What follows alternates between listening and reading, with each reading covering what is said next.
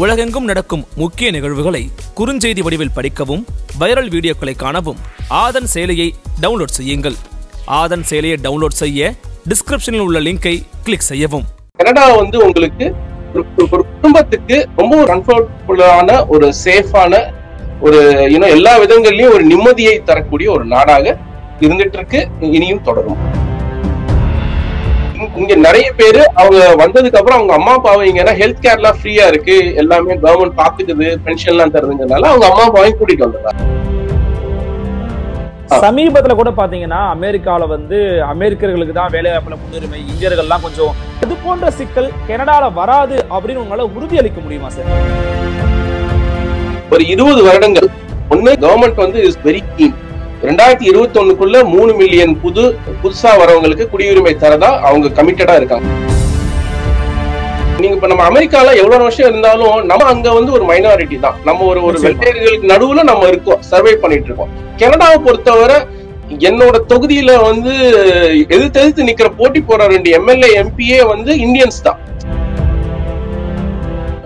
நிறைய பேர் என்கிட்ட கேட்பாங்க சார் எனக்கு கனடால டைரக்டா ஒரு வேலை வந்திருக்கு அப்பாயின்மெண்ட் லெட்டர் கொக்கோ கோலா கம்பெனில வந்திருக்கு நான் போய் சேரலாமாம்பாங்க பார்த்தா ஃபேக்கா இருக்கும். எல்லாமே இருக்கு நான் கனடாவை என்ஜாய் பண்ணணும்னா வீட்ல சும்மாவும் இருக்கலாம். கவர்மெண்ட் வந்து நீங்க பிஆர் வாங்கினதுனால நீங்க வேலை பார்த்தே ஆகணும். இப்போ யூஎஸ்ல எல்லாம் எப்படின்னா நீங்க வேலையில இல்லைன்னா ஹெச் ஒன்ல உங்களால வந்து நீங்க போயாகணும் கண்ட்ரி ஆமா குறிப்பிட்ட நாள் மட்டும் தான் இருக்க முடியும். ஆமா. இங்க வர ஸ்டூடெண்ட்ஸ் வாரத்துக்கு இருபது மணி நேரங்கள் லீகலாக ஒர்க் பண்ணலாம். தமிழின் நம்பர் ஒன் அரசியல் யூடியூப் சேனலான ஆதன் தமிழ் நேயர்களுக்கு அன்பு வணக்கங்கள். இன்றைக்கு நம்முடைய தூர பார்வை நிகழ்ச்சியில் நடந்திருக்கக்கூடிய சிறப்பு விருந்தினர் கேன்னெக்ஸ்ட் டாட் சிஏ அதனுடைய நிறுவனர் மரியாதைக்குரிய திரு ரசனே ஸ்ரீராம் இணைந்திருக்கிறார். வாருங்கள் அவரோட ஒரு சிறப்பு நேர்காணல் வணக்கம் திரு ரசனே ஸ்ரீராம் சார். வணக்கம் அருள் எப்படி இருக்கீங்க? நலமா இருக்கா சார். நீங்க எப்படி இருக்கீங்க? நல்லா இருக்கீங்களா? நல்லா இருக்கீங்க மகிழ்ச்சி. முக்கியமான ஒரு கொரோனா பேண்டமிக் டைம்ல உலகமே வந்து முடங்கி இருந்தாலுமே கூட ஒவ்வொருவரும் தங்களுடைய அன்றாட வாழ்விற்கான தேவைகளை பூர்த்தி செய்யணும் அப்படிங்கிறதுக்காக அடுத்தடுத்த தொழில் வளர்ச்சி அப்படிங்கறது நகர்ந்து போய்கிட்டே தான் இருக்கிறாங்க. அதுல. ரொம்ப முக்கியமானது பார்த்தீங்கன்னா புலம்பெயர் தொழிலாளர்கள் சிக்கலா கூட இந்தியாவுல இருக்கு. அதே போல இந்தியாவில இருந்து வெளிநாடுகளுக்கு சென்று பணிபுரியக்கூடிய நிலையும் இருக்கு. கண்டிப்பா. ரொம்ப முக்கியமா உங்கள்கிட்ட பேட்டெடுக்க முனைந்ததற்கான காரணமே வந்து கனடாவில் எப்படி குடிபெயர்ந்து எப்படி தங்களுடைய வாழ்வை தகவமைத்துக் கொள்வது அப்படிங்கிறதுக்கு ஒரு மிக முக்கியமான ஒரு ஒரு நிறுவனத்தை உருவாக்கி அதன் மூலமாக பல்லாயிரக்கணக்கான நபர்களுக்கு நீங்க தொடர்ந்து உதவிகள் பண்ணிட்டு வரீங்க. என்னுடைய முதற்கட்ட கேள்வியை நான் முன்னாடி உங்களை முன்னாடி வச்சிடுறேன். மற்ற நாடுகளை விட ஒருவர் கனடால வந்து குடியேறணும் அப்படின்னு நீங்க சொல்லணும் அப்படின்னா என்னென்ன முக்கியமான காரணங்களை நீங்க முன்வைப்பீங்க சார்? கண்டிப்பா அருள். சோ முதல்ல நீங்க சொன்ன மாதிரி கடந்த ஒரு நான்கைந்து மாதங்களாக நம்ம எல்லாருமே ஒரு ஒரு ஸ்ட்ரகிள் வந்து அண்டர்கோ பண்ணிட்டு இருக்கோம் ஏன்னோ கோவிட் நைன்டீன் எல்லாரும் கிட்டத்தட்ட உலக அளவுல ஃபைட் பண்ணிட்டு இருக்கோம் அண்ட் இந்தியால குறிப்பா யூனோ இப்போ இம்பாக்ட் வந்து அதிகமாவே இருக்கு. ஸோ இந்த. சூழ்நிலையில ஏன் கனடாக்கு வரணும் அப்படிங்கறத நான் கொரோனாவோடய நான் லிங்க் பண்ணி ஒரு பதிலா சொல்லணும்னு பாக்குறேன். சில நாட்கள் முன்பு என்னுடைய ட்விட்டர் என்னுடைய சோஷியல் மீடியா சேனல்ல நான் ஒரு ஒரு ஒரு சின்ன ஒரு ஆர்டிகல் மாதிரி ஒரு தொடர் இது மாதிரி எழுதினேன். என்னன்னா குறிப்பா கொரோனால எனக்கு ஒரு கிளைண்ட் வந்து வந்தாரு. அவர் வந்து பேசிட்டு இருந்தோம். ஒரு நாலஞ்சு மாசமா இங்க அவரு கனடா புதுசா வந்தவர். வந்தவொடனே படிப்பு முடிச்சுட்டு வேலை இல்ல. ஆஹ் ஒரு குழந்தை இருக்கு அப்படின்லாம் சொன்னோம். நான் கேட்டேன் எனக்கு கொஞ்சம் கியூரியஸா இருந்தது. எப்படி சமாளிக்கிறீங்க? அப்படின்னு கேட்டேன். அவர் சொன்னாரு ஜஸ்டின் ட்ரூடோ இப்போ மாசத்துக்கு ரெண்டாயிரம் டாலர் கொடுக்குறாரு எல்லா ஃபேமிலிக்கும். அது மட்டும். இல்லைன்னா ரொம்ப கஷ்டப்பட்டுருவேன் சார். இல்லாட்டி இந்த டைம்ல என்னால சர்வை பண்ணிருக்கவே முடியாது அப்படின்னாரு இது வந்து எதுக்கு ஒரு உதாரணமா சொல்ல வரேன்னா கனடா வந்து ஒரு ஒரு அமெரிக்கா பக்கத்துல இருந்தாலும் அமெரிக்காவை விட அமெரிக்காவை விட ஒரு மிகவும் வித்தியாசமான ஒரு நாடு. பல விதங்களில். இங்க வந்து சோசியல் வெல்ஃபேர் ஸ்டேட் அதாவது வந்து மக்களுக்கு என்ன விதம் என்ன ஒரு ஒரு ஃப்ரீ ஹெல்த் கேரா இருக்கட்டும் இல்ல ஹாஸ்பிட்டல் ஒரு சாதாரண ஃபீவர்ல இருந்து நீங்க என்ன ஒரு கொரோனாவா இருக்கட்டும் கேன்சரா இருக்கட்டும் எதுனாலும் இங்க வந்து கவர்மெண்ட் இஸ் சப்போர்ட்டிங் ஃபுல்லா ஃப்ரீ ஓகே ஸ்கூல் ஃப்ரீ யாரா இருந்தாலும் எல்லாரும் கவர்மெண்ட் ஸ்கூல் தான் போவாங்க. நைன்டி நைன் தொண்ணூத்தி சதவீதம் குழந்தைகள் என் குழந்தை உட்பட எல்லாரும் இங்க பிரைவேட் ஸ்கூல்லாம் கிடையாது. பப்ளிக் ஸ்கூல் போவாங்க. அதுவும் நல்லா இருக்கும்.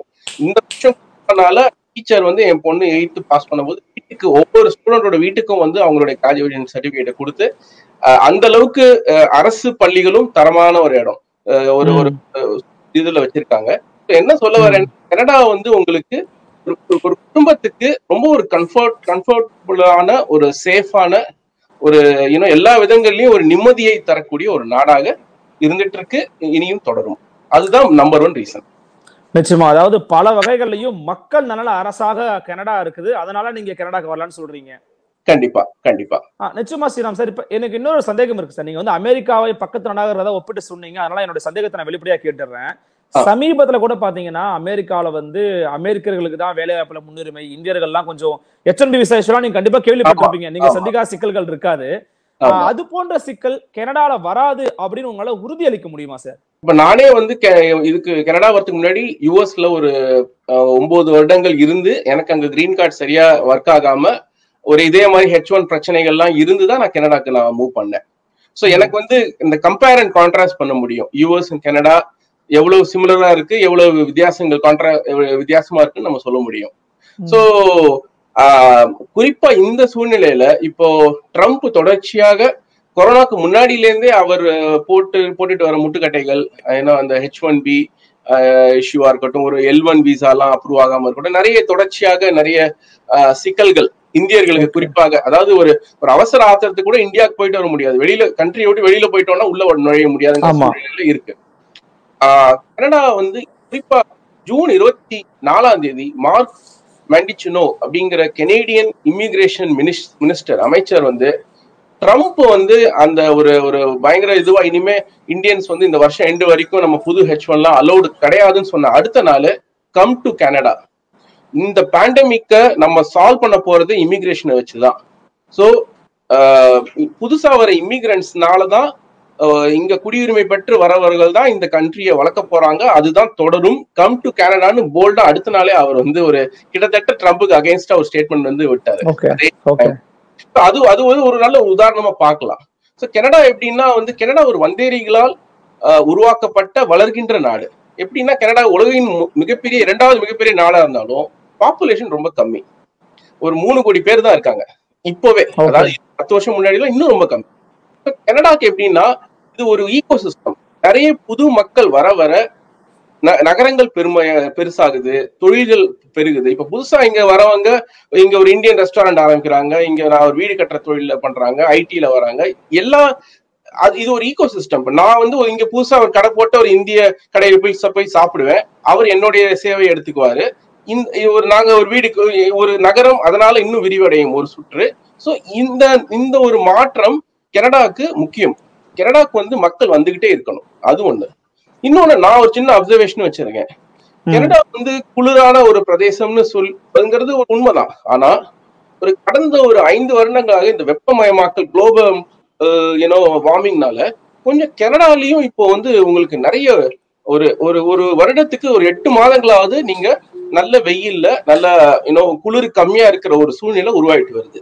நிறைய பெரிய நகரங்கள்ல நல்ல மக்கள் வசிக்கக்கூடிய இடங்கள்ல. இதெல்லாம் வச்சு பார்க்கும்போது இன்னும் ஒரு இருபது வருடங்கள். ஒண்ணு கவர்மெண்டோட சப்போர்ட் கவர்மெண்ட் வந்து இஸ் வெரி கீன் ரெண்டாயிரத்தி இருபத்தி ஒண்ணுக்குள்ள மூணு மில்லியன் புது புதுசா வரவங்களுக்கு குடியுரிமை தரதா அவங்க கமிட்டடா இருக்காங்க இப்போ வரைக்கும். Okay okay okay. ரெண்டாவது அவங்க வர வர எக்கானமியும் வளருது புதுசா வரவங்கனால. அதனால கனடா கவர்மெண்ட் சப்போர்ட் பண்ணிட்டு தான் இருக்கு. சார் ரொம்ப முக்கியமான ஒரு கேள்விக்கு நீங்க என்ன நகரத்தை கொண்டு போயிருக்கீங்க சார். என்னன்னா இப்போ நீங்களே சொல்றீங்க கனடா நாடும் சரி கனடா அரசும் சரி வெளி நாடுகளிலிருந்து வரக்கூடியவர்களை வரவேற்கிறதுன்னு.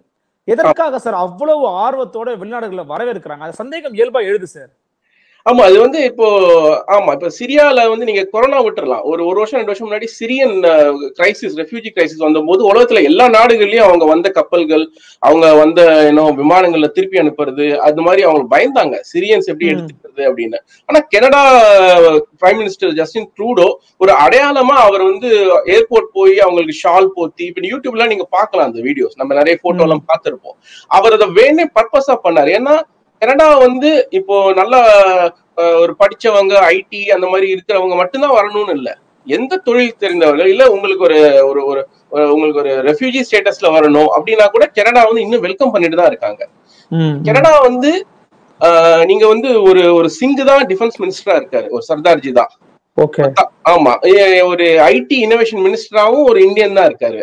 ஓகே. தமிழ் இவங்க தான் வந்து என்னுடைய தொகுதியோட எம்பியா இருக்காங்க. இந்த எப்படின்னா அவங்க வந்து இவருக்கு நம்ம பொங்கலும் கொண்டாடுவாங்க கவர்மெண்ட் ஒரு ஏன்னோ பஞ்சாபி ஃபெஸ்டிவலும் கொண்டாடுவாங்க ஹோலி கொண்டாடுவாங்க அஹ் கிறிஸ்துமஸும் கொண்டாடுவாங்க. ஏன்னா இவ இஸ்லாமியர்களுக்கும் நல்ல உச்சபட்ச அவங்களுக்கும் மரியாதை கொடுத்து ஏன்னா அவங்க மாஸ்க் கட்டிக்கலாம் என்ன வேணா பண்ணிக்கலாங்கிற மாதிரி. இது வந்து ஒரு ஒரு ட்ரூலி ஒரு செக்யூலரான ஒரு கண்ட்ரியா தான் கனடா எல்லா மதங்களையும் அந்த அந்த டைவர்சிட்டியை கனடா கொண்டாடுது. போதே வந்து எப்படியாச்சும் கனடாக்கு வந்து பாத்திரமே ஒரு ஃபீல் வருது சார் நீங்க பேசும்போது. ஆமா ஏன்னா இப்ப நிறைய பேர் கேட்பாங்க.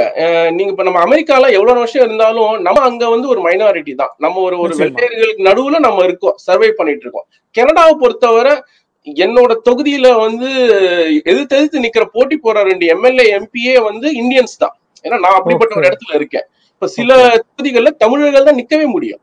அந்த அளவுக்கு. இங்க வந்து அந்த பாகுபாடு இல்ல. நம்ம இவர் இவங்க வந்து வெள்ளையர்கள் இவர்கள் வந்து கருப்பினத்தவர்.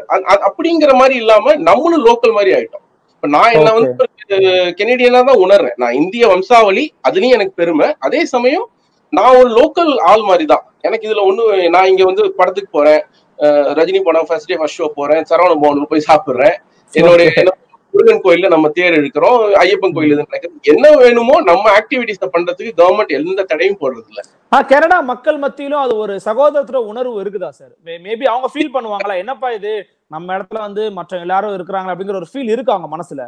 கண்டிப்பா இருக்குங்க. இப்ப இங்க வந்து எனக்கு உண்மையா சொல்ல போனா பாகிஸ்தானிஸ் எல்லாம் நமக்கு நிறைய ஃப்ரெண்டா இருக்காங்க. இப்ப நம்ம வந்து இந்தியால எல்லாம் பாகிஸ்தான்னா என்னவோ நம்ம எதிரியா பாக்குறோம்.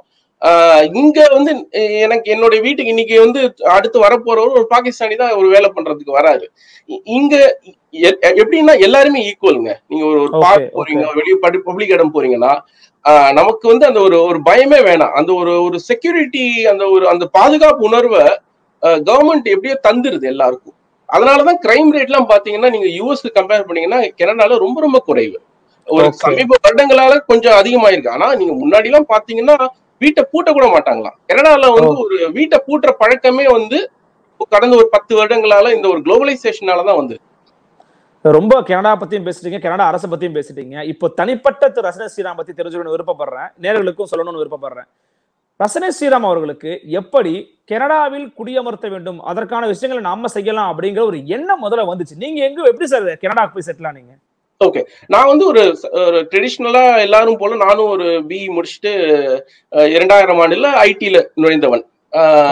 ஐடி துறையில் ஒரு பெரிய கம்பெனி இன்ஃபோசிஸ்ல இருந்தேன். சென்னையில இருந்தேன். நான் பிறந்து வளர்ந்த சொந்த ஊர் புதுக்கோட்டை திருச்சி பக்கம். பல ஊர்களில் படித்தேன். தஞ்சாவூர் இன்ஜினியரிங் முடிச்சுட்டு ஐடி துறையில் ஒரு இன்ஃபோசிஸ் என அமெரிக்கா அனு- அனுப்பிச்சாங்க. ஸோ. ஐடி துறையிலே அவங்கள்ட்டே இருந்து எனக்கு இந்த விசா ப்ராப்ளம் யூஎஸ்ல வந்தோன்னே நான் ஒரு பிளான் பண்ணிட்டு அப்பவே சரி நம்ம கனடா போகலாம் அப்படின்னு ஒரு ஒரு ஐடியா வந்து அப்போ ஈஸியா கிடைச்சது வேற. கனடாக்கு. ஸோ ஐடில கண்டினியூ பண்ணிட்டே இருக்கும்போது ஒரு ஒரு ஐந்தாறு வருடங்களுக்கு முன்பு வந்து என்னுடைய மனைவியின் சகோதரர்கள் கசின்ஸ் அந்த மாதிரிலாம் வர ஆரம்பிச்சோன்னா நாங்க பேசிக்கிட்டு இருப்போம். எப்படிலாம் அவங்க இந்தியால வந்து நான் வந்து இவ- இவங்கள்ட்ட நான் ஒரு ஒரு லட்சம் கொடுத்தேன். அவங்க அவங்க ஒண்ணுமே பண்ணல எனக்கு. இந்த இந்த கன்சல்டன்சி இங்க எனக்கு வந்ததுக்கு அப்புறம் எனக்கு யாரை போய் பாக்குறதுன்னு தெரியல. இந்த மாதிரிலாம் பேசியிருக்கோம். இதெல்லாம் மாத்தணும். ஏன் வந்து இந்த ஸ்பேஸ்ல இப்ப எல்லா ஸ்பேஸ்லயுமே ஒரு டிஸ்ரப்ஷன் ஒரு புது ஆள் வந்துட்டாங்க. இப்ப அமேசான் வந்து இப்ப கடைகள்ல வந்து நமக்கு என்னென்ன பிரச்சனைகள் இருந்தோ அது தீக்கிற மாதிரி அமேசான் வந்து ஆன்லைன் ஒண்ணு ஒண்ணு வந்தாங்க. இது ஒவ்வொரு துறையுமே வந்து ஒரு புது பிளேயர் வராங்க. இந்த இமிகிரேஷன். துறையில கிளீனா ட்ரஸ்ட் வர்த்தியா ஒழுங்கா பண்றதுக்கு ஏன் ஒருத்தர் இல்ல? ஏன் எப்பவுமே இருக்கும்னு யோசிச்சோம். சரி. பண்ணலாம். சரி நம்ம பண்ணலாம். இன்னொன்னு இமிகிரேஷனை தாண்டி செட்டில்மெண்ட் கைடன்ஸ் பண்ணலாம். இப்போ வந்து இங்க வரவங்களுக்கு இப்போ இமிகிரேஷன் விசா பாஸ்போர்ட்ல அடிச்சு தந்தா மட்டும் பத்தாது. இங்க வந்து இறங்கினா ஒரு ஃபேமிலி வராங்கன்னா எது நல்ல ஏரியா எது சேஃபான இடம் எங்க நல்ல ஸ்கூல் இருக்கும் எனக்கு வந்து என் என் குழந்தைக்கு பரதநாட்டியம் கத்துக்கணும் இல்ல நான் எங்க தமிழ் ஆர்கனைசேஷன்ல நான் இன்வால்வ்டா இருக்கணும் இல்ல எனக்கு தமிழ் டாக்டர் வேணும் இந்திய இந்த மாதிரிலாம் நமக்கு ஒரு அந்த இன்ஃபர்மேஷன்லாம் யார் தருவா? கண்டிப்பா. ம். ஆ சோ நம்ம இதையும் ஏன் சேர்த்து பண்ணக்கூடாது? அப்படின்னு ஒரு இமிகிரேஷன் அண்ட் செட்டில்மெண்ட் சர்வீசஸ் ஃபார்மா பண்ணணும்ன்ற ஐடியா வந்துச்சு. அதுக்கப்புறம் நான் அதுக்கு படிச்சேன். காலேஜ் போய் நான் இமிகிரேஷன் லாயர் ஆகணும்னா அதுக்குன்னு ஒரு ஒரு அரசு ரெகுலேட்டட் ப்ரொஃபஷன் இது. ஸோ நம்ம ஒரு. சிஏ மாதிரி ஒரு நம்ம படிக்கணும் பரீட்சை எழுதணும் அதுல ஃபெயில் ஆகி பாஸ் பண்ணி நம்ம ஒரு ஒரு அதுக்கான லைசன்ஸ் வாங்குறது முக்கியம்னு புரிஞ்சுது. ஸோ வாங்கிட்டு அதுக்கப்புறம் சின்ன சின்னதா பண்ண ஆரம்பிச்சோம். அது ஒரு ஆர்கானிக் growth தான். இப்போ நம்ம பெருசா விளம்பரம் எல்லாம் பண்றது இல்ல நம்ம இந்த சோஷியல் நான் நிறைய வந்து அவேர்னஸ் மாதிரி எழுத ஆரம்பிச்சேன். என்னுடைய ரசனை ஸ்ரீராம் அப்படிங்கிற என்னுடைய என்னுடைய சோஷியல் மீடியா ஐடியில நிறைய பேர் என்கிட்ட கேட்பாங்க. சார் எனக்கு கனடால டைரக்டா ஒரு வேலை வந்திருக்கு. அப்பாயின்மெண்ட் லெட்டர் கொக்கோ கோலா கம்பெனில வந்திருக்கு. நான் போய் சேரலாமாம்பாங்க பார்த்தா ஃபேக்கா இருக்கும். எனக்கு சில பேர் இல்லாட்டி இன்னொரு மாதிரி லெட்டர் வரும். கனடா கவர்மெண்டே உங்களுக்கு வந்து கான்சுலர் ஆபீஸ் வந்து விசா தருது வந்து ஜாயின் பண்ணிக்கோங்க அப்படின்னா. இதெல்லாம் பார்க்கும்போது அபத்தமா இருந்தது. இல்ல சோ இத பத்தின அவேர்னஸ் முதல்ல நம்ம கிரியேட் பண்ணோம். சரி நம்ம. பிசினஸ் வந்து ஒரு ஒரு பக்கம். அதை தாண்டி நம்ம வந்து நிறைய பேர் இதுல போய் விழுறாங்களே. இப்ப டெல்லியில போய் ஏதோ பணத்தை கட்டுறாங்களே. இந்த பஞ்சாப்ல எல்லாம் நிறைய இந்த மாதிரி கம்பெனிஸ் எல்லாம் இருக்கேன்னு என்ன பண்ணோம்? நிறைய அவேர்னஸ் எழுத ஆரம்பிச்சேன். ஒரு ஒரு கட்டுரைகளா ரசனை ஸ்ரீராம் ஐடியில. அது பரவலான வரவேற்பை பெற்றது. அப்புறம் தொடர்ந்து அதை நம்ம ஒரு ஒரு ஃபேமா ஒரு ப்ராக்டிஸா நம்ம வளர்த்துட்டோம் இப்போ ஒரு அஞ்சு ஆறு லாயரோட நம்ம பண்ணிட்டு இருக்கோம். எனக்கு முகவர்கள் ஏஜென்சிஸ் வந்து எனக்கு ஒரு ஒரு ஏழு எட்டு கண்ட்ரில இப்ப இருக்காங்க. சோ அப்படி உருவாக்கப்பட்டதுதான் இந்த கேனெக்ஸ்ட் டாட் சிஏ அப்படிங்கிறது இல்லையா? ஆமா ஆமா. சார் இப்போ டாட் சிஏ ஆமா. சார் இப்போ ஒரு சாதாரண ஒரு நபர் ஒரு பாமர ஒரு நபர் அவருக்கு வந்து கனடால போய் இப்ப நீங்க சொல்லும்போது எனக்கே அந்த ஆசை வரும்போது நிச்சயமா கேட்கறவங்களுக்கு கண்டிப்பா அந்த ஆசை வரும். அப்படின்னும் போது அந்த நபர் எப்படி திரு ரசதி ஸ்ரீராமை அணுகி கனடால போய் குடிமகனுக்கான வேலைகளை செய்ய முடியும்? அதுக்கான ப்ராசஸ் என்ன சார் உங்களை அணுகி போவதற்கான ப்ராசஸ் ஓகே இரண்டு விதமா. இப்போ கேனெக்ஸ் டாட் சிஏ என்னுடைய சிஏஎன்இஎக்ஸ்டி டாட் சிஏ வெப்சைட்ல இரண்டு விதமாக எங்களை அணுகலாம். முதல்ல வந்து அவங்களுக்கு வந்து சும்மா ஒரு ஒரு சின்ன செக் பண்ணி பார்க்கணும். நமக்கு ஏதாவது அங்க போய் செட்டில் ஆகிறதுக்கான வாய்ப்பு இருக்கா? அப்படின்னு ஒரு பண்றதுக்கு ஒரு ஃப்ரீ அசஸ்மெண்ட் நாங்க வச்சிருக்கோம். ஸோ அவங்க வந்து அவங்களுடைய அடிப்படை தகவல்கள். என் பேர் இது நான் இவ்வளவு படிச்சிருக்கேன் என் வயசு இது இவ்வளவு இவ்வளவு வருட அனுபவம்னு நான் சொன்னா நான் அது வந்து நாங்க ஒரு ஒரு செயலியில நாங்க ஒரு சாஃப்ட்வேர்ல நாங்க எழுதி வச்சிருக்கோம். அதாவது அவங்க உடனே ஆட்டோமேட்டிக்கா அவங்களுக்கு ஒரு ஒரு இமெயில் போகும். உங்களுக்கு சான்சஸ் இருக்கு குட் சான்சஸ் இருக்கு எக்ஸலண்ட் மாடரேட்டா இருக்கு. இது அப்படிங்கிற மாதிரியான ஒரு கைடன்ஸ் கொடுத்துட்டு இதற்கு பிறகு அவர்கள் என்ன விதமாக எக்ஸாக்டா அவங்க எந்த ப்ரோக்ராம் சரியா வருங்கிறதுக்கு அவங்க ஒரு கன்சல்டேஷன் புக் பண்ணணும். அது என்னுடைய கேனெக்ஸ் டாட் சிஏ வெப்சைட்ல Canex dot CA slash consultation அது ஹோம் பேஜ்லயே உங்களுக்கு பெருசா இருக்கும். ஸோ ஒரு. கன்சல்டேஷன் என்னிடமோ இல்ல என்னுடைய நிறுவனத்துல இருக்கிற மத்த ரெகுலேட்டட் கன்சல்டன்ஸ் இல்ல லாயர்ட்டையும் நீங்க புக் பண்ணிக்கலாம். ஆமா. இப்போ நான் என்னுடைய நிறுவனத்துல ஒர்க் பண்ற இன்னொரு லாயர் வந்து அவங்க ஒரு பெரிய யூடியூப் அவங்க ஒரு வச்சு நிறைய அவங்க அவேர்னஸ் எல்லாம் கிரியேட் பண்ணிட்டு இருக்காங்க ஓகே ஓகே நீங்க ஒரு கன்சல்டேஷன் புக் பண்ணிட்டீங்கன்னா ஒரு முப்பது நிமிடங்களில் உங்களுக்கு என்ன வாய்ப்பு இருக்கு எந்த ப்ரோக்ராம்ல வரலாம் எவ்வளவு செலவாகும் எத்தனை நாட்கள் ஆகும் என்ன என்னெல்லாம் பண்ணலாம் அது என்னவா வேணா இருக்கலாம். நீங்க ஒரு விசிட்டர் விசாவா வரலாம் இல்ல வேணா அப்ளை பண்ணலாம் ஸ்டடி பெர்மிட்டா இருக்கலாம் இல்ல நீங்க ஒரு பிசினஸ் நடத்தணும் இன்வெஸ்டரா இன்வெஸ்டரா வரும்னு நினைக்கிறீங்க இல்ல இங்க ஒர்க் பண்ணணும்னு நினைக்கிறீங்க ஸ்கில்டு ஒர்க்கரா இல்ல நீங்க ஒரு ஸ்கில்டு ட்ரேட் இதுல இருக்கீங்க நீங்க பெயிண்டரா இருக்கீங்க பிளம்பரா இருக்கீங்க எலக்ட்ரீஷியனா இருக்கீங்க என்னவா வேணா இருக்கலாம். நம்ம வந்து. இந்த துறைன்னு இல்ல. இது எதுவா இருந்தாலும் அவர்களுக்கான கைடன்ஸை கன்சல்டேஷன்ல நம்ம கொடுத்துடுறோம். அதுக்கப்புறம் it is up to the client அதாவது அவங்க வேணும்னா அவங்க எங்களை அணுகி என்கேஜ் பண்ணிக்கலாம். இல்லாட்டி அது அவங்களுடைய இது. உரிமை. ஓகே சார் ஒருத்தர் வந்து வரணும் அப்படின்னா எத்தனை வருஷம் சார் வந்து கனடால அவர் இருக்கலாம்? பெர்மனன்ட் ரெசிடென்சி அப்படின்னு சொல்லப்படுறது பிஆர் அதாவது இதுதான் வந்து நிரந்தர குடியுரிமை. இந்த பெர்மனன்ட் ரெசிடென்சில ஒருத்தர் லைஃப் லாங் இருக்கலாம். அவர் மட்டும் இல்ல அவருடைய ஃபேமிலி இம்மீடியட் ஃபேமிலி அதாவது அவருடைய மனைவி குழந்தைகள் அம்மா அப்பாவையும் கூட்டிக் கொள்ளலாம் இங்கே. இங்க- இங்க நிறைய பேரு அவங்க வந்ததுக்கு அப்புறம் அவங்க அம்மா அப்பாவை இங்கன்னா ஹெல்த் கேர்லாம் ஃப்ரீயா இருக்கு. எல்லாமே கவர்மெண்ட் பாத்துக்குது பென்ஷன் எல்லாம் தருதுங்கிறதுனால அவங்க அம்மா அப்பாவையும் கூட்டிட்டு வந்துடுறாங்க. ஆஹ் மூன்று வருடங்கள் நீங்க இந்த இந்த கண்ட்ரில இருந்தீங்கன்னா ஆயிரத்தி தொண்ணூத்தஞ்சு நாட்கள் தௌசண்ட் நைன்டி ஃபைவ் டேஸ் இருந்தீங்கன்னா உங்களுக்கு உங்க பிஆர சிட்டிசன்ஷிப்பா மாத்திக்கலாம். ஸோ நீங்க கெனடியன். சிட்டிசன் ஆயிட்டீங்கன்னா நீங்க அதுக்கப்புறம் நீங்க கனடால இல்லாட்டி கூட நீங்க அதுக்கப்புறம் நீங்க இந்தியாவுக்கு போயிட்டீங்க திரும்பி இல்ல வேற உங்களுடைய சொந்த ஊருக்கு போயிட்டீங்கனாலும் நீங்க லைஃப் லாங் உங்களுடைய சந்ததிகள் ஜெனரேஷன்ஸ் எல்லாமே கெனடியன் சிட்டிசனா தொடர வாய்ப்புண்டு. நிச்சயமா சார். இப்ப உதாரணத்திற்கு நீங்களே கூட பேசும்போது சொல்லியிருந்தீங்க. இந்த மாதிரி தொழில் வாய்ப்புகள்லாம் இருக்கு அப்படின்னு சொல்லி பல பேர் அபத்தமா ஏமாந்து போன செய்திகள்லாம் நான் கேள்விப்பட்டேன் அப்படின்னு சொல்லியிருந்தீங்க. கேனெக்ஸ்ட் மூலமாக தொழில் வாய்ப்புகளை அல்லது வேலை வாய்ப்புகளை பெற முடியுமா சார் அல்லது அதுக்கான கன்சல்டேஷன் சொல்லி கொடுப்பீங்களா? வேலை வாய்ப்புக்கான கன்சல்டேஷன் கண்டிப்பா நம்ம தரோம். ஆஹ் ஒவ்வொரு துறை வாரியா வந்து இப்ப நமக்கு வந்து என்னன்னா கான்டாக்ட்ஸ் நமக்கு வந்து இப்போ பில்ட் ஆயிருக்கு. இப்போ வந்து நான் ஐடில இருக்கேன்னா எனக்கு தெரிஞ்ச ஒரு ஃபார்மசிஸ்ட் எனக்கு தெரிஞ்ச ஒரு டாக்டர் ஒரு மேனுஃபேக்சரிங் துறையில இருக்கிறவர் லாஜிஸ்டிக்ஸ்ல இருக்கிறவர் இந்த இந்த- கம்பெனில இருக்காங்க. நமக்கு ஒரு ஒரு டேட்டா பேஸ் ஒரு ஒரு ஓவர் த இயர்ஸ் ஒரு கடந்த பத்து வருடங்கள்ல நமக்கு தெரிந்த இந்த ஒரு நெட்வொர்க் ஒன்று கிரியேட் ஆயிருக்கு. ஸோ அதை வைத்து நம்மால ரொம்ப ஒரு ப்ராக்டிக்கலான கைடன்ஸ் தர முடியும். இப்போ வந்து கனடானாலுமே ஒரு ஒரு ஈஸியா எந்த இன்டர்வியூவும் இல்லாம நான் எதுவுமே என்கிட்ட இல்ல. எனக்கு டைரக்டா நான் வரும்போது ஏதோ இந்த ஜோக்ல வர மாதிரி நான் வரும்போது ஸ்ட்ரைட்டா ஹீரோ தான் சார் அப்படிங்கிற மாதிரி இங்க வந்துட முடியாது. சோ நீங்க வந்து எது சரியான கம்பெனி அந்த கம்பெனிக்கான டியர் ஒன் இப்போ ஒரு கம்பெனில ரெக்ரூட் பண்றாங்க அப்படின்னா இப்போ அமேசானுக்குள்ள எனக்கு வேலை பார்க்கணும் ஆசை தான். ஆனா அமேசான் போறது? அதுக்கான சரியான ரெக்ரூட்மெண்ட் ஏஜென்சிஸ் யாரு? யாரை காண்டாக்ட் பண்ணணும்? என்ன விதமா பண்ணலாம்? இந்த மாதிரியான கைடன்ஸை நாங்க ஒரு அப்ஜெக்டிவா தெளிவா தரோம். இப்ப உதாரணத்துக்கு அந்த கம்பெனிங்கெல்லாம் நம்ப தகுந்த கம்பெனியா அப்படியா இல்லையாங்கிறத நீங்களே சொல்லி கொடுத்துருவீங்க இல்லையா? நாங்க நிறைய பேருக்கு நான் அந்த டெலிஜென்ஸ் பண்ணி பார்த்தேன். என்கிட்ட என்ன பண்ணுவாங்க? என்ன நிறைய பேர் வந்து வெறும்னா ஒரு தடவை கன்சல்ட் பண்ணி என்ன பண்ணுவாங்க? சார் இந்த ஒரு கம்பெனில இருந்து எனக்கு வந்து ஆஃபர் வந்திருக்கு. எனக்கு நீங்க பண்ணலாமா அப்படின்னு கேட்பாங்க. சில நேரம் வந்து நான் சொன்ன மாதிரி அது ஃபேக் கம்பெனியா இருக்கும். அந்த அட்ரஸ்ல பார்த்தா ஒண்ணுமே இருக்காது. நம்ம வந்து நமக்கு தெரியும். இந்த ஹாமில்டன் இந்த ஊர்ல இப்படி ஒரு இதுவே கிடையாது. இந்த ஒரு ஸ்ட்ரீட்டே கிடையாது. இது எப்படி இவங்க பண்றாங்க அப்படின்னு நமக்கு தெரிஞ்சிடும் சில விஷயங்கள்ல நமக்கு வந்து அது உண்மையான கம்பெனியா இருக்கும். நம்மளால அவங்களுக்கு ஃபோன் பண்ண முடியும். நம்மால அவங்க ஒருத்தருக்கான ஒரு இனி இனிஷியல் ஒரு ஒரு முதல் கட்ட விசாரணையை நம்ம பண்ண முடியும். நம்ம அவங்களுக்கு. ஒரு கான்பிடன்ஸ் கொடுக்க முடியும். இல்ல இல்ல இந்த கம்பெனி இருக்கு. நீங்க ப்ரொசீட் பண்ணலாங்கிற அப்படியும் நம்மளால கைட் பண்ண முடியும். சார் இப்போ உதாரணத்துக்கு நீங்க சொன்னீங்க தொழில் துவங்கலாம்னு சொல்லிருக்கிறீங்க. மேபி இப்போ நான் அங்க வந்து அரசு வேலை வாய்ப்புகள்ல அரசு துறைகளையும் பங்கெடுக்க முடியுமா சார் ஓ தாராளமா. நீங்க பர்மனன்ட் ரெசிடென்ட்டா வந்துட்டீங்கன்னா நீங்க வந்து இந்த நாட்டோட சிட்டிசன் மாதிரி. நீங்க வந்து ஒரு கவர்மெண்ட் வேலைக்கு போகலாம் பிரைவேட் வேலைக்கு போகலாம் சொந்த பிசினஸ் ஆரம்பிக்கலாம். இல்ல இங்க நிறைய பேர் இன்கார்பரேட்டட் தாங்க வந்து தாங்களே ஒரு கம்பெனியா வச்சுக்கிட்டு கான்ட்ராக்டரா ஒர்க் பண்ணுவாங்க. ஏன்னா அதுல நிறைய டாக்ஸ் சேவிங்ஸ் உண்டு. பண்ணலாம் படிக்கலாம். இல்ல உங்களுக்கு எல்லாமே இருக்கு. நான் கனடாவை என்ஜாய் பண்ணணும்னா வீட்ல சும்மாவும் இருக்கலாம். கவர்மெண்ட் வந்து நீங்க பிஆர் வாங்கினதுனால நீங்க வேலை பார்த்தே ஆகணும். இப்போ யூஎஸ்ல எல்லாம் எப்படின்னா நீங்க வேலையில இல்லைன்னா ஹெச் ஒன்ல உங்களால வந்து நீங்க போயாகணும் கண்ட்ரி விட்டு ஆமா குறிப்பிட்ட நாள் மட்டும் தான் இருக்க முடியும். ஆமா. இருக்க முடியும். அந்த ஒரு தலைக்கு மேல கத்தி இருந்துட்டு இருக்கும். கனடா பிஆர் பொறுத்தவரை அ- உ- உங்கள்ட்ட see, உங்களுடைய ஸ்கில்ல வச்சுதான் நீங்க உள்ள வரீங்க. அதுக்கப்புறம் விட்டுட்டாங்க கவர்மெண்ட் உங்க உங்ககிட்ட விட்டாங்க.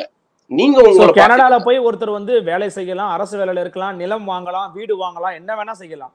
என்ன வேணா செய்யலாம். வீடு வாங்கலாம் வேலை செய்யலாம் தொழில் ஆரம்பிக்கலாம். ஒரு ஓனர் ஆபரேட்டர் அவங்க ஒரு சிறு தொழில் ஆரம்பிக்கலாம்.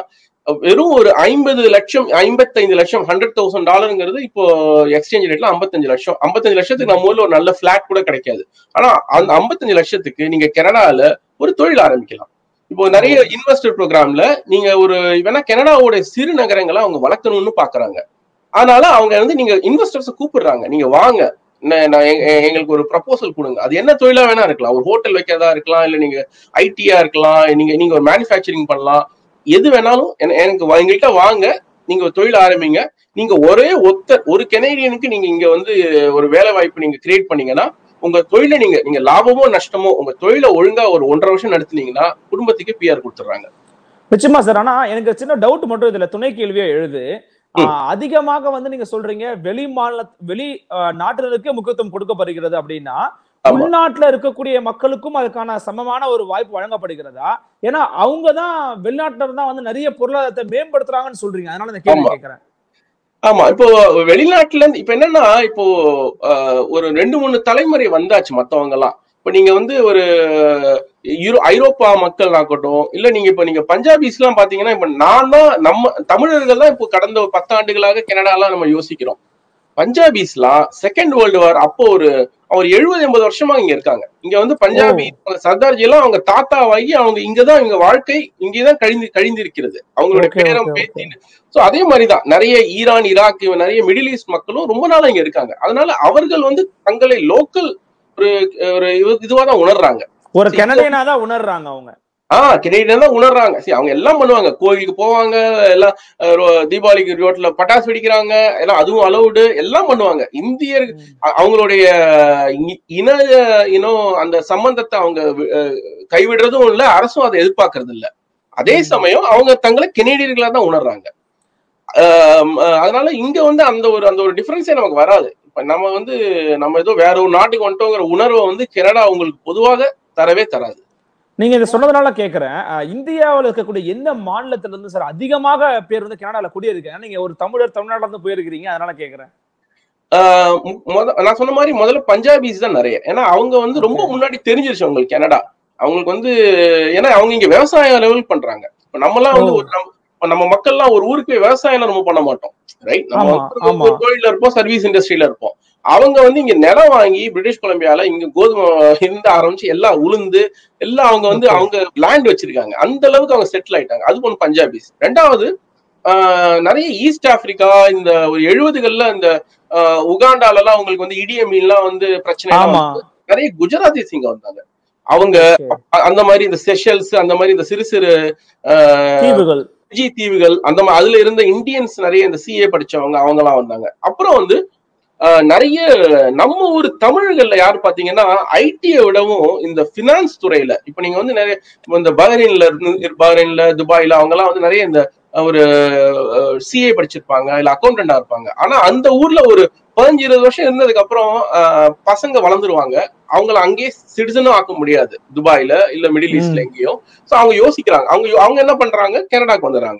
சோ அந்த மாதிரி நம்ம மக்கள் நிறைய இங்க இருக்காங்க. ஒரு இப்ப தமிழர்கள் வந்து இப்ப ரொம்ப கம்மியான்னு சொல்ல முடியாது. நிறைய இருக்காங்க. இன்னொன்னு நாலாவது நம்ம எல்லாருக்கும் தெரியும். ஸ்ரீலங்கன் தமிழர்கள் எம் எயிட்டி ஃபோர் எயிட்டிஸ்ல இருந்து கனடா அவர்களுக்கு மிகப்பெரிய இரண்டாம் வதிவிடமா அவங்க அப்படிதான் சொல்றாங்க. எங்களோட இரண்டாம் தாயகம் கனடா. அந்த அளவுக்கு அதுக்கான அது- உரிமைகள்லாம் வழங்கப்பட்டிருக்கு. தாயகமா தான் பாக்குறாங்க. ஏன்னா அவங்க பெரிய நம்பர்ஸ்ல அவங்களும் இருக்காங்க. சார் ரொம்ப முக்கியமா வயது வந்து ஒரு முக்கியமான ஒரு காரணம் இம்பார்ட்டன்டான ஒரு ஃபேக்டர்னு சொல்லப்படுகிறது. நடுத்தர அல்லது வயதான நபர்களுக்கான திட்டங்கள் ப்ரோக்ராம்ஸ் எதுவும் இருக்கா சார் குறிப்பிட்ட அளவுல ஏதாவது. இருக்குங்க. அதாவது இப்போ வந்து நீங்க நல்ல கேள்வி கரெக்டானது இப்போ ஒரு கனடாவோட பிஆர் ப்ராசஸ் வந்து எல்லாரும் வந்து அத முத கதவா திறந்து பார்க்கும்போது பாயிண்ட் சிஸ்டம் நமக்கு வயசு அதிகமாக இருந்தாக கிடைக்காது அப்படிங்கிற மாதிரியான ஒரு ஒரு நம்பிக்கை இருக்கு.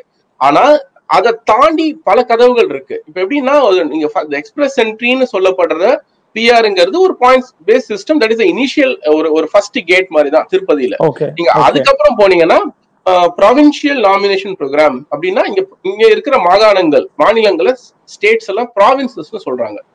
ஸோ ஒவ்வொரு ப்ராவின்ஸ்க்கும் ஒரு ஒரு ஃபோக்கஸ் இருக்கு. இப்போ நான் இருக்கிற டொரண்டோ அன்டேரியோ மாகாணம் வந்து தொழில் சார்ந்தது ஐடி சார்ந்தது இனோவேஷன் சார்ந்தது. இதே நீங்க நடுவுல ஒரு சஸ்கேச்சுவான் இல்ல ஒரு அல்பர்ட்டா போனீங்கன்னா அங்க பெட்ரோல் பெட்ரோலியத்துறை ஆயில் அண்ட் கேஸ் பெரிய இண்டஸ்ட்ரியா ஸோ ஒவ்வொரு ப்ராவின்சஸும் அவங்களுக்கு என்ன மாதிரியான ஆட்கள் வேணும்னு ஒரு ப்ரோக்ராம் கொண்டு வராங்க.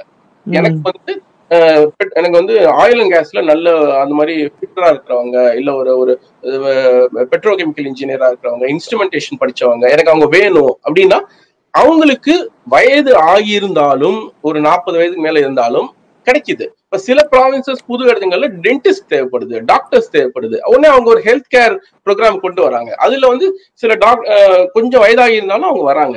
சில இடங்கள்ல ஃபார்மர்ஸ் தேவைப்படுது. ஒரு யூனோ ஃபார்ம் ஒர்க்கர்ஸ் தேவைப்படுது. ஸோ இது மாதிரியான ப்ரோக்ராம்களை நம்ம வந்து சல்லடை போட்டு தேடணும். ஸோ அது அந்த ஹெல்ப். தான் நாங்க மெயினா பண்றோம். சார் ரொம்ப வயது ஒரு இது கிடையாது வரலாம்.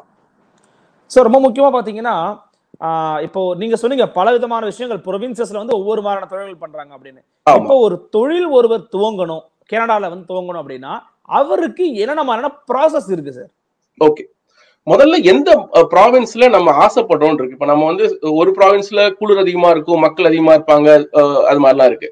ஸோ எந்த ப்ரா ஒவ்வொரு ப்ராவின்ஸ்க்கான இன்வெஸ்ட்மெண்ட் அமௌண்ட்டும் மாறும். இப்ப நான் சொன்னது இப்ப நான் ஒரு ஐம்பது லட்சத்துல நம்ம தொழில் துவங்கலாம்னு சொன்னேன். அது வந்து பிரிட்டிஷ் கொலம்பியால ஒரு ப்ரோக்ராம் இருக்கு. இதே நீங்க பக்கத்துல இன்னொரு மேனிடோபாங்கிற ப்ராவின்ஸ் போனீங்கன்னா அங்க வந்து எழுபத்தஞ்சு லட்சம் ஒன் பிப்டி தௌசண்ட் ஒரு லிமிட் வச்சிருக்காங்க. இப்ப நான் இருக்கிற ப்ராவின்ஸ் வந்து ஹைலி பாப்புலேட்டட் டொரண்டோ சுத்தி. இங்க வந்து டூ ஹண்ட்ரட் இரநூறு அதாவது ஒரு கோடி ரூபாய்க்கு தொழில் ஆரம்பிக்கலாம். இது மாதிரி ஒவ்வொரு ப்ராவின்ஸ்க்கான இன்வெஸ்ட்மெண்ட் அமௌண்ட் மாறுபடும். ஸோ முதல்ல நம்ம அதை என்ன நம்ம நம்மளால அதை இன்வெஸ்ட் பண்ண முடியுமான்னு பார்க்கணும். அது ஒண்ணு. ரெண்டாவது ஒரு உங்களை நீங்க நேரடியாவோ இல்ல யாராவது ஒரு உதவி வச்சோ நம்ம ஒரு ப்ராப்பரான பிசினஸ் பிளான் கொடுக்கணும். ஒரு ப்ரப்போசல். கொடுக்கணும். அது இது அவங்க அதுக்குன்னு அப்ளிகேஷன் ப்ராசஸ் இருக்கு. அந்த பிசினஸ் பிளான்ல நம்ம சொல்லணும். நம்ம நான் என்ன ப்ரொவைட் பண்ண போறேன்? இது வந்து எதனால என்ன யூஸ் கனடாவோட எக்கானமிக்கு இந்த மாதிரியான ஒரு கன்வின்சிங்கான ஒரு ஸ்டோரி ஒரு ஒரு ஒரு இது கொடுக்கணும் லாஜிக் கொடுக்கணும். இது பண்றதுனால உங்களுக்கு நல்லது. அது- நம்ம ஒன்றும் அவங்க ஒன்றும் பெருசா எக்ஸ்பெக்ட் பண்றது இல்ல. ப்ராப்பரான. ஒரு அழகான ஒரு பிளானை கொடுத்து அப்ளை பண்ணோம்னா ஒரு பிளானிங் கேக்குறாங்க. ம். கேக்குறாங்க. அப்புறம் என்ன பண்றாங்க? கனடா கவர்மெண்ட் ஆடிட்டர்ஸ் வச்சிருக்காங்க. இப்ப இந்த பிரைஸ் வாட்டர் ஹவுஸ் நம்ம ஊர்ல பெரிய ஆடிட்டிங் கம்பெனிஸ் எல்லாம் இருக்குல்ல. இந்த ஒரு. குளோபல் ஆடிட்டிங் கம்பெனிஸ் எல்லாம் வச்சு அவங்க நம்மளுடைய சொத்து மதிப்பு. உண்மையாவே நம்ம இன்வெஸ்ட் பண்ண போறோமா? நம்மள்ட்ட அதுக்கான ஃபண்ட் இருக்கா? நம்மள்ட்ட அசையும் சொத்து எவ்வளவு? நம்மளுடைய டோட்டல் நெட் வேல்யூ என்ன? நம்ம இன்வெஸ்ட் பண்ண போற பணம் எங்க இருந்து வருது? அந்த சோர்ஸ் எல்லாம் கொஞ்சம் பாத்துக்கிறாங்க ஏன்னா அதுல வந்து எதுவும் ஆஹ், தப்பான சோர்ஸ்ல வந்துடக்கூடாதுன்னு அதை கொஞ்சம் செக் பண்ணிக்கிறாங்க. இந்த ப்ராசஸ்லாம் இது நாங்க இந்த பேப்பர் ஒர்க்லாம் நாங்க பண்ணி தரோம் இது ஒன்றும் நம்ம சொல்றதுக்கு காம்ப்ளிகேட்டடா இருந்தாலும் இது வந்து நூற்றுக்கணக்கான ஆயிரக்கணக்கான பேர் பண்ணிட்டு தான் இருக்காங்க. டே டே டே ஸோ இந்த ப்ராசஸ் சரியா ஃபாலோ பண்ணோம்னா முதல்ல ஒரு ஒர்க் பர்மிட் தருவாங்க. நீங்க வாங்க வந்து நீங்க இடம் பார்த்து என்ன தொழில் பண்றீங்களோ அதை செட்டப் பண்ணுங்க. அப்புறம் அது அப்ப பீரியாடிக்கலா மானிட்டர் பண்ணுவாங்க. ஒரு ஆடிட்டிங் மாதிரி நடக்கும். ஒரு. ரெண்டு மாதங்களுக்கு ஒரு முறை வந்து தொழில் போகிறதா என்ன பண்றதுன்னு பார்த்துட்டு எல்லாமே கரெக்டா போயிட்டு இருக்குன்னா அவங்க வந்து பிஆர் கொடுத்துருவாங்க. ஓகே சார் ஒரு ஊடகத்துறை சார்ந்து நான் இருக்கிறதுனால இயங்குறதுனால உங்கள்கிட்ட இந்த கேள்வி கேட்டுக்கிறேன். ஒரு ஊடகத்துறையில நான் இருக்கிறதுனால என்னை போன்ற நபர்கள் கனடால வந்து செட்டில் ஆக முடியுமா? நாங்க எங்களுக்கான வாய்ப்புகள் என்னெல்லாம் இருக்கு சார் எனக்கு ஒரு வாய்ப்பா இருக்கிறதுனால நான் கேட்கறேன் இருக்கு. உங்களுக்கு எல்லாம் ஸ்பெஷல் என்ட்ரன் என்ட்ரி ஒண்ணு இருக்கு. உண்மையாவே அவர் நிறைய பேர் தெரியறது இல்ல அதாவது வந்து கல்ச்சுரல் துறை அத்லெட்டிக்ஸ் இந்த ரெண்டு. ஸ்போர்ட்ஸ் இந்த ரெண்டுலயும் இருக்கிறவங்க இந்த கல்ச்சுரல் இதுலங்கிறது அவங்க எல்லாமே சேர்த்துட்டாங்க. அதாவது. வந்து நீங்க ரொம்ப ஆச்சரியப்படுவீங்க.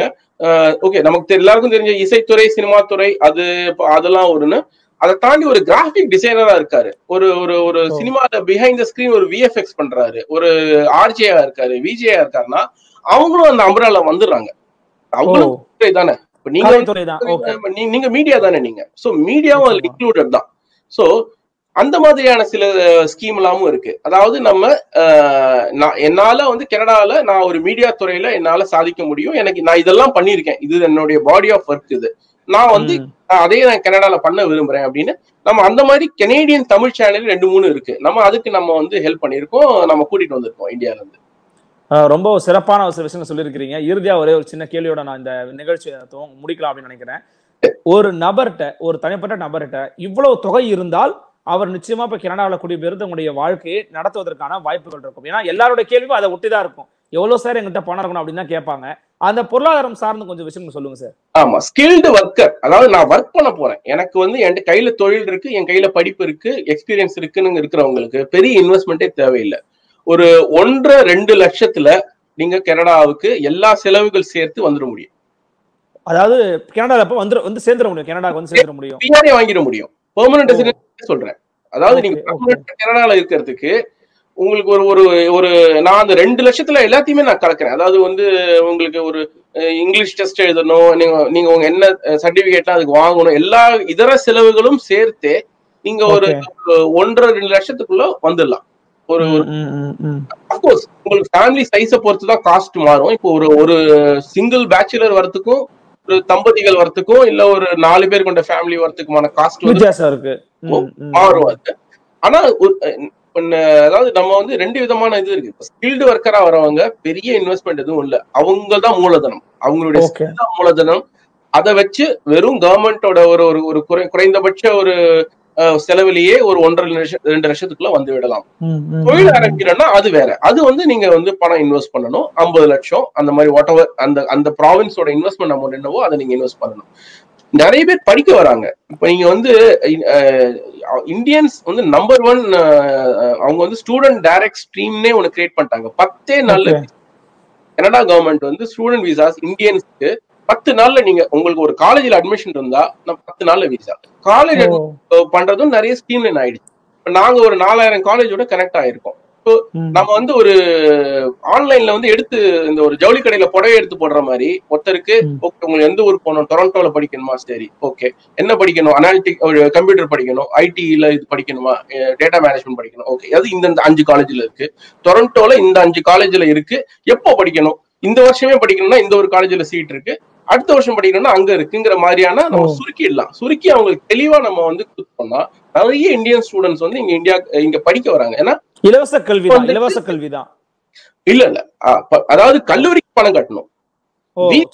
விசா ஃபீஸ் ரொம்ப கம்மிங்க. நூத்தம்பது டாலரோ என்னவோ தான். விசா ஃபீஸ் வந்து வெறும் பத்தாயிரம் ரூபாய் பதினஞ்சாயிரம் ரூபாய் தான். ஆனா கல்லூரிகளுக்கு நீங்க பணம் கட்டணும். ஏன்னா கல்லூரிகள் வந்து இங்க வந்து அவங்க ஃபீஸ் கேட்பாங்க. ஆமா அது பள்ளி கல்வி வரைக்கும் தான் இலவச கல்வின்னு சொல்ல வரீங்களா? பன்னெண்டாவது வரைக்கும் ஃப்ரீ பன்னெண்டாவது வரைக்கும் ஒருத்தர் யூகேஜி எல்கேஜில இருந்து அது senior kindergarten junior kindergarten சொல்லுவாங்க. அதுல இருந்து பன்னெண்டாவது வரைக்கும் பென்சில் பேனா கூட வாங்க வேண்டாம். உங்களுக்கு. வந்து ஸ்கூல்லயே அவங்க பூல் பண்ணி அங்கேயே யூஸ் பண்ணிட்டு அங்கேயே விட்டு வந்துருவீங்க. அதனால உங்களுக்கு. கல்வி பள்ளி கல்வி ஃப்ரீ நார்த் அமெரிக்காவை பொறுத்தவரை யூரோப்லயும் அப்படிதான். பள்ளி கல்வி வந்து ஃப்ரீ தான். உங்களுக்கு வந்து கல்லூரிகள் யூனிவர்சிட்டிஸ் அதெல்லாம் எக்ஸ்பென்சிவ் தான். அது வந்து நம்ம ஃபீஸ் ஆகணும் ஒரு தம்பதிகள் வந்து ஸ்காலர்ஷிப் இருக்குங்க. நிறைய இங்க வந்து அப்ளை பண்ணக்கூடிய ஸ்காலர்ஷிப்ஸ் இருக்கு. இன்னொன்னு இங்க வர ஸ்டூடெண்ட்ஸ் வாரத்துக்கு இருபது மணி நேரங்கள் லீகலாக ஒர்க் பண்ணலாம். அந்த எல்லாரும் ஒர்க் பண்றாங்க இங்க. இங்க வந்து அந்த ஒரு. நம்ம ஒர்க் பண்ணக்கூடாது அப்படிலாம் இல்ல. எல்லாரும் ஏதாவது பசங்க எல்லாருமே ஒர்க் பண்ணுவாங்க. ஒரு ரெஸ்டாரண்ட்ல ஒர்க் பண்ணுவாங்க. இல்ல அவங்க ஒரு யூனோ ஒரு அசிஸ்டண்டா இருப்பாங்க ஒரு ஆபீஸ்ல. நம்ம நமக்கான கிட்டத்தட்ட நமக்கு நம்ம செலவுகளை நம்மளே சம்பாதிச்சுக்கலாம். நிச்சயமா சார். ரொம்ப ரொம்ப மகிழ்ச்சியான ஒரு தருணமா இந்த தருணத்தை நான் பார்க்கிறேன். ஏன் அப்படின்னா ஒரு நாடை பத்தி தெரிஞ்சுக்கணும் அப்படிங்கறத விட அந்த நாட்டுல இருக்கிற சிறப்புகளை பத்தி தெரிஞ்சுக்கிறது அந்த நாட்டுல எப்படி இன்னொரு நாட்டுல இருந்து போய் தங்கி வேலைவாய்ப்புகளை வாங்கிக் கொள்வது எப்படி நம்மை நாமே தகவமைத்துக் கொள்வது அப்படிங்கிற விவரங்களை வந்து ரொம்ப தெள்ள தெளிவா அதுவும் தமிழகத்துல இருந்து இன்னைக்கு கனடால ஒரு முக்கியமான ஒரு பொறுப்புல முக்கியமான இடத்துல இருக்கிறீங்க அப்படிங்கிற போது ரொம்ப பெருமையாவும் ரொம்ப மகிழ்ச்சியாவும் இருக்கு. இந்த கொரோனா பேண்டமிக் டைம்ல கூட எங்களுக்காக இணையத்தின் வாயிலாக அதுவும் இந்த நேரத்துல நாங்க பேசிக்கிட்டு இருக்கோம். உங்களுக்கு அது வந்து காலை நேரம். உங்களுடைய பரபரப்பான பிசி ஷெடியூல்ல கூட எங்களுக்காக உங்களுடைய நேரத்தினையும் உங்களுடைய வருகையையும் பதிவு செய்தமைக்கு மிக்க நன்றி திரு ரசனே ஸ்ரீராம் சார். மிக்க நன்றி அருள். நல்ல கேள்விகள். உங்களுக்கு என்ன தகவல் வேணாலும் நீங்க என்னுடைய வெப்சைட்ல நீங்க கன்சல்டேஷனோ இல்ல எனக்கு இமெயில் அனுப்பலாம். இல்ல அதுலயே வாட்ஸ்அப் போன் நம்பர் எல்லாமும் இருக்கு. நீங்க எங்களை. நன்றி சார். நன்றி. நன்றி. நன்றிங்க. நன்றி நண்பர்களே மீண்டும் ஒரு தூர பார்வை நிகழ்ச்சியில் மற்றும் ஒரு ஆழ்விடவு சந்திக்கிறேன். அதுவரை உடம்பு விடைபெறுவது உங்கள் அருள்மொழிவர்மன். இணைந்திருங்கள் இது உங்கள் ஆதன் தமிழ்.